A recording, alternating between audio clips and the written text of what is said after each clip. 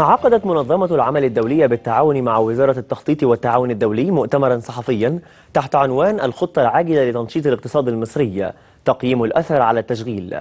وحضر المؤتمر كل من وزير التخطيط الدكتور أشرف العربي ويوسف القريوتي رئيس منظمة العمل الدولية.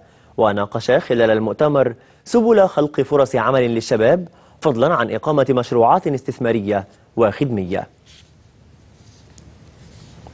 نشطت مؤشرات البورصة المصرية في مستهل تعاملات اليوم بدعم من مشتريات المستثمرين الأجانب والتي واجهت المبيعات المحلية والعربية. وعلى صعيد حركة الأسهم القياسية ارتفع مؤشر الرئيسي EGX 30 نحو 19 من 100% كما ارتفع مؤشر الأسهم الصغيرة والمتوسطة EGX 70 بنسبة 9 من 100% وزاد المؤشر الأوسع نطاقا EGX 100 بواقع 8 من 100% والآن إلى أخبار الرياضة بعد الفاصل.